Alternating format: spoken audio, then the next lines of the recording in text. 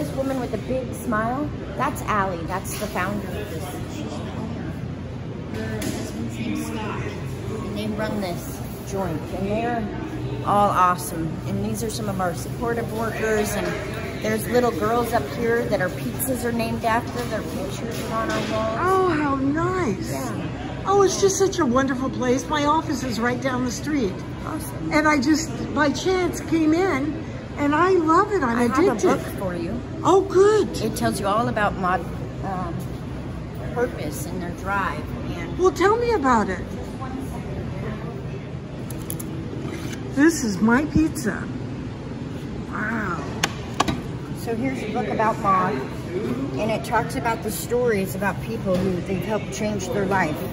And mod opened in 2008 during the um, recession to help create jobs.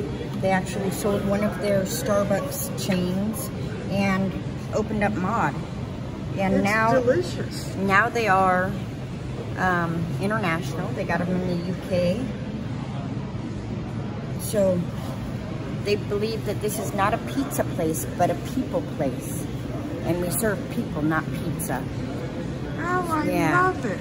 So it's really, it's really a great company. And I love the mission. I love the, the, the purpose of MOD. And what we live by is grace, generosity, and gratitude. It's on the ceiling. What time are you off? 8 o'clock? There you are. You can have this book. It's for you. Thank you for being on my show. You're it's welcome. called My Public Interest Issue Show. Nice. And I My appreciate it. Oh, this is such a wonderful experience. Thanks for coming in. Thank you. You can look at our wall in here and it says Pioneer Square. It actually has our, it actually has where we're at.